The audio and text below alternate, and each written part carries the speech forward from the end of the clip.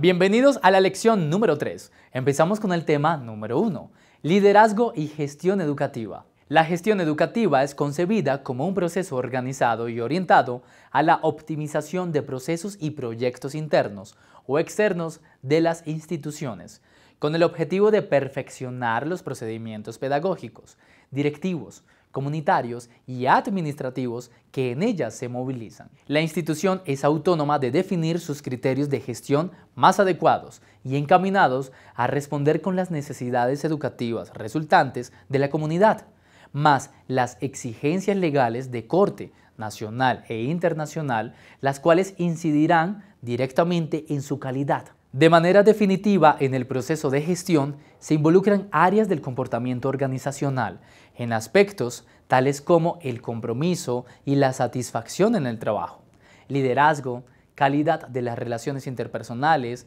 la comunicación, entre otros, que son los temas sobre los cuales se basan las capacidades de cambio y de adaptación.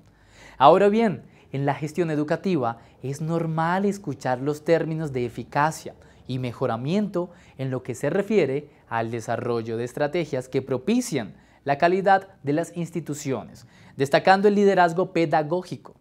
Algunos expertos consideran que dichas corrientes deben ser complementarias por su definición, características y alcances. Por ejemplo, la mejora se cataloga como un esfuerzo sistemático y continuo dirigido a cambiar las condiciones de aprendizaje y otras condiciones internas asociadas en una o más instituciones. Con la finalidad última de alcanzar las metas educativas, también propende por motivación, buena disposición, aptitud, capacidad y mejora de los actores. La eficacia, por su parte, condensa los avances de la institución por niveles. Por ejemplo, nivel número uno, el proceso de enseñanza-aprendizaje que se constituye en el centro del proceso de mejora e implica un cambio en el papel del profesor que impulse a su alumno para desarrollar aptitud, habilidad para entender lo que se está enseñando, perseverancia, oportunidad, calidad de la enseñanza. Los resultados de los alumnos son criterio esencial.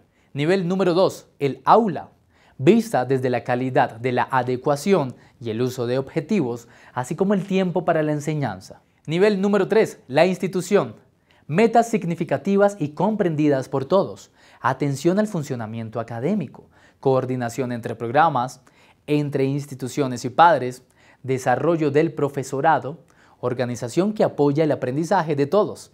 Nivel número 4, el contexto. Niveles por encima, comunidad, sector productivo externo, gobierno regional y nacional.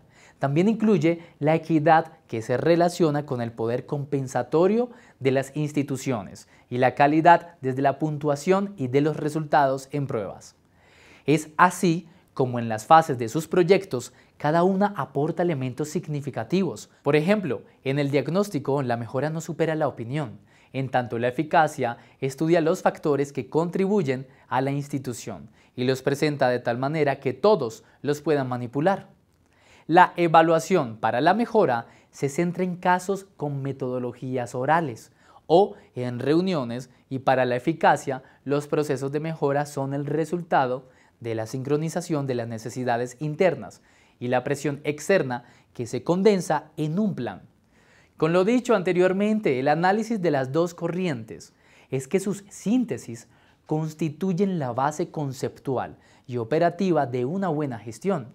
Ahora bien, para la existencia de una buena gestión educativa estratégica y de acuerdo a los desafíos de la educación, la gestión debe ser competente en la centralidad en lo pedagógico. Hace referencia a una nueva mirada de la educación más centralizada, no como unidades educativas separadas, sino que poseen líneas continuas a través de desarrollo escolar, reconfiguración de las competencias y la profesionalización, promover en las instituciones la experimentación y la capacidad de trabajar en redes y en equipos que posibiliten la experiencia individual y colectiva, aplicando su capacidad de innovación. El trabajo en equipo, un trabajo en colaboración en las instituciones educativas, tiene que ver con procesos que faciliten la comprensión, planificación, acción y reflexión conjunta acerca de qué se quiere hacer y cómo una apertura al aprendizaje y a la innovación. La gestión educativa tiene como misión construir una organización inteligente, abierta al aprendizaje de todos sus integrantes y con capacidad para la experimentación, que sea capaz de innovar para el logro de sus objetivos educacionales, romper las barreras de la inercia y el temor, favoreciendo la claridad de metas y fundamentando la necesidad de transformación. Culturas organizacionales cohesionadas por la visión de un futuro. Se trata de enfrentar el futuro y sus problemáticas, clarificando objetivos, generando consensos, identificando metas y generando así coherencia y espíritu de emprendimiento, liderazgo y creatividad. Una intervención sistémica y estratégica. Se deben impulsar procesos de cambio cultural y educativo en un corto, mediano y largo plazo. Esto exige desarrollar una amplia capacidad de monitoreo, perspectiva y prospectiva, así como puntualizar las acciones de liderazgo. Todo lo mencionado lleva a pensar en la importancia de un excelente modelo de gestión educativa y de la forma de liderar en cuanto al carácter, las capacidades y el sentido de liderazgo. El carácter en la manera de orientar a la comunidad académica, en la calidad de sus decisiones, en su actitud autocrítica y de reflexión, con relación a las capacidades, al cómo maneja la información, cómo empodera y delega, a la forma como se proyecta en cuanto a su ética y sus valores. Y en el sentido del liderazgo, a tener claridad frente a los objetivos de la organización, a cómo ofrecer el valor diferenciador de la organización educativa, al cómo implementar los proyectos, a la claridad que debe tener sobre el conocimiento de las dinámicas internas de la institución, a la capacidad de abordar y analizar los problemas, a crear escenarios de comunicación, a la manera de relacionarse con la autoridad que le ofrece el cargo y a la capacidad de escucha.